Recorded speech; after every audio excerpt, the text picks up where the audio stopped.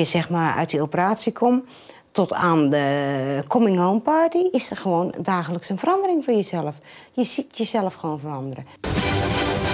Het Nederlandse programma kreeg vorige week zondag ook in Vlaanderen navolging. Zo lanceerde het radioprogramma Zwart-Wit een wedstrijd met als hoofdprijs een plastische ingreep. Een borstvergroting, liposuctie of rimpels optrekken, het kan allemaal. En vooral de radio betaalt. In enkele uren tijd wordt de radioredactie overstelpt met aanvragen. Zelfs de presentator had zo'n massale belangstelling niet verwacht. Ik had eerlijk verwacht dat er misschien wat meer grappenmakers zouden tussen zitten. En tot nu toe, de resultaten die we bekeken hebben, zijn echt allemaal mensen die vinden dat ze daar nood aan hebben. En dat geeft toch wel een, een goed beeld van, van onze maatschappij weer op dat vlak. Maria Steegmans is een van de luisteraars die meteen op de oproep reageert. Een borstvergroting, liposuctie of antirimpelkuur. Het maakt voor Maria weinig uit, als ze maar wordt geopereerd.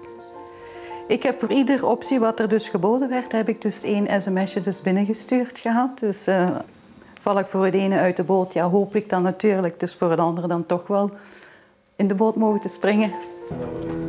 Jeff Hoeibergs is plastisch chirurg en krijgt dagelijks vrouwen en mannen over de vloer die net als Maria dromen van een totale metamorfose.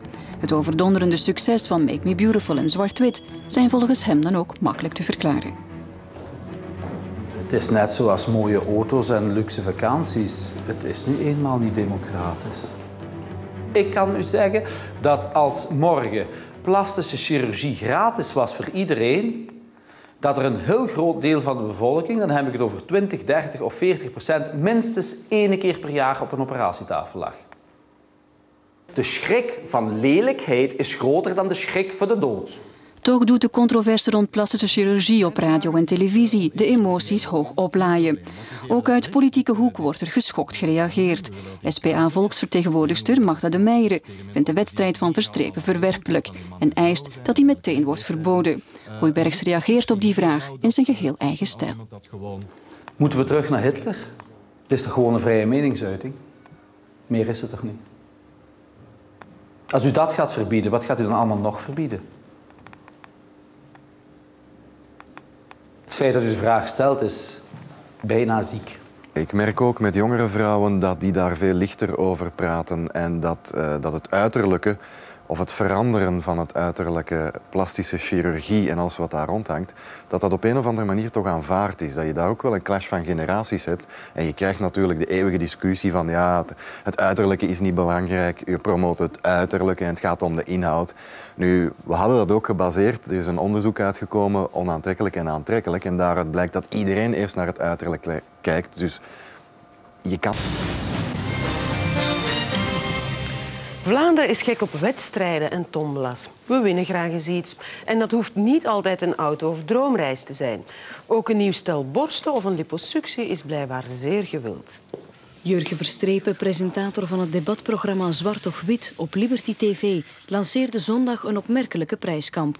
Kijkers kunnen een borstvergroting, liposuctie of botox antirimpelkuur winnen.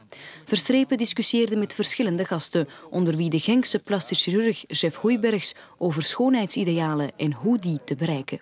U zegt van goed, ik zou een liposuctie willen laten toepassen, maar het is te duur. Uh, ja. Om de paar minuten herinnerde Verstrepen eraan dat iedereen die het wilde, man of vrouw, jong en oud, deel kon nemen aan zijn wedstrijd. Vanaf nu kan u zich de volgende drie weken lang met Zwart of Wit en met Radio Contact tijdens de week kandidaat stellen voor ofwel een liposuctie, ofwel een botox anti-rimpelbehandeling, ofwel een borstvergroting-operatie. Dit is geen grap. Vooral mannen waagden hun kans en wilden graag een borstvergroting winnen voor hun vrouw. SPA-volksvertegenwoordiger Magda de Meijer reageert onthutst. Het is een walgelijke wedstrijd die zou moeten worden verboden. Ja, meneer Verstrepen, een walgelijke wedstrijd, dat is het. Mm, perceptie. Perceptie. Um, ik weet niet wat daar zo walgelijk aan is. Ik denk dat je tegenwoordig heel veel op televisie ziet. Meer dan wat ik doe. Ik, bedoel, ik toon niet, ik laat niet zien. Ik speel de mensen niet tegen elkaar uit. Dus het wedstrijdelement is, het is een democratische wedstrijd. Tot nu toe was het alleen maar beperkt voor mensen die heel veel geld hadden. De rich and famous, Hollywood-stijl uh, Hollywood en dergelijke meer. Dus ik denk dat we gewoon iemand laten dromen die het wel eens zou kunnen gebruiken. En ik zie niet in wat daar walgelijk aan is. Ja.